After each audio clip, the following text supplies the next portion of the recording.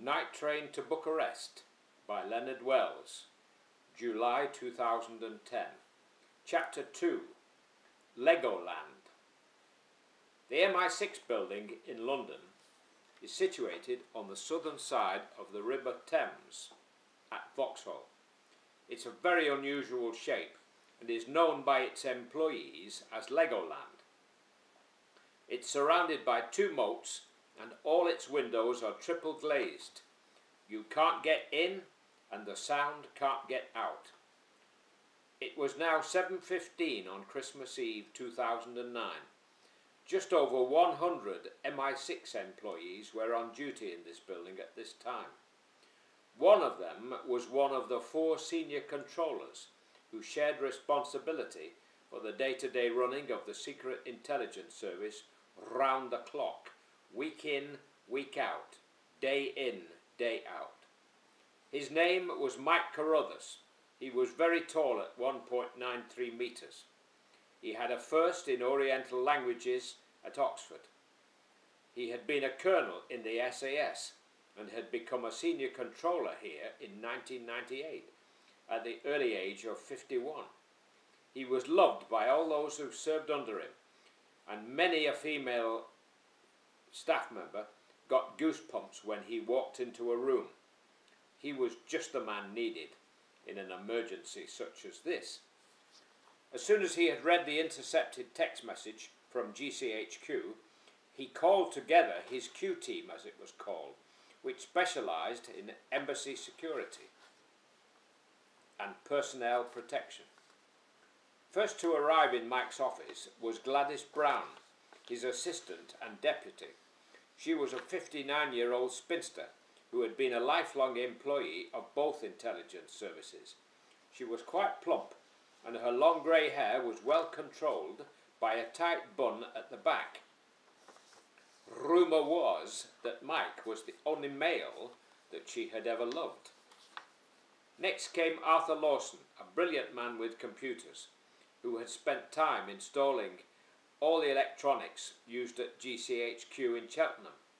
He was 53 and had seven children. Originally, he'd worked for BT. He was as bald as a coot, but few men could match his IT knowledge. John Jackson at 49 was next and the youngest, the best dressed man in the entire intelligence organisation. He had been at one time an MP and had been tipped for high office. Why he was offered a post at his level in MI6 was never disclosed, but there was gossip that he had caught the eye of uh, a minister's wife. Finally, a former Foreign Office Mandarin, Donald Smith, 52, half American, half British, hard-boiled and tough. Mike spoke urgently. Okay, now we're all here. We've got quite a flap on tonight, chaps. This is the situation. About 10 minutes ago, Z section at GCHQ intercepted a text message to one of our embassy mobiles in Bucharest. According to the listing, the phone was allocated to one Ionel Grigorescu, one of the Romanians employed as a senior gate security man. That message read, and I quote, We have your daughter Manuela. She is safe for now. Instructions will follow in 48 hours. Tell no one, or she dies slowly. Okay, so we're not dealing with amateurs. Despite the fact that we switch the mobile numbers around on a regular basis, they managed to call the correct number. This means we can't trust anyone in the embassy because the number could only have come from one of the staff there. Even the mobile service provider, Orange, could not have been certain who had what number and when. Gladys, who's our man in Bucharest? Mike, I'm sorry, I'm going to have to tell you. We have a problem. We don't have one of ours just now. Our man had a skiing accident in Transylvania two days ago. They broke both legs and an arm. He's currently in a wheelchair in Malta recovering. We really had to scratch around for a Romanian speaking replacement, but he won't be arriving there before, the Jan before January the 1st. Well, let joy be unconfined and Merry Christmas to one and all, Mike said. How about our, our men in Budapest or Sofia? Don't either of them speak Romanian? Gladys shook her head and then her face lit up. Well, it is only a suggestion, uh, Mike, but how about Sticky Bishop? He used to be our top man out there. Gladys, you're a wonder, but wasn't he retired under a cloud of suspicion? That's right, our American friends didn't trust him. He rescued two of their guys who had been kidnapped in Iraq, and they couldn't believe he did it so easily. He claimed to have quoted passages, passages from the Quran, or some such story. Well, where is he now, Gladys, my Wonder Woman? That's the problem, Mike. The last I heard was that he married a Romanian woman called Christina and was living in some remote northern town. All I can tell you for certain is that he banks with Coutts and Co. He used to say, if it's good enough for the Queen, it's good enough for me. Arthur, can you hack into Coutts and Co.'s client account list? I can, but it'd be a lot quicker if, you, if I have your okay to speak to their duty officer and get their passwords. They change them fortnightly like we do. You have my okay, go ahead. If he doesn't play ball instantly, tell him I can get a warrant to break into their bank in no time. Gladys, give me the list of duty government ministers for the holiday period.